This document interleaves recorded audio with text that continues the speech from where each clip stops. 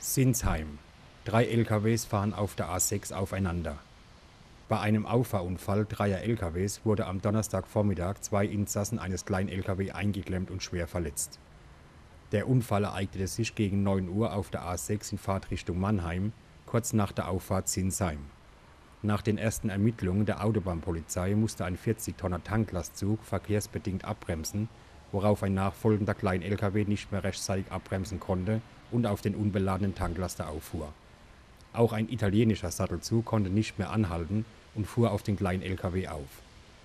Die zwei 39 und 52 Jahre alte Insassen wurden in ihrem kleinen LKW eingeklemmt und schwer verletzt.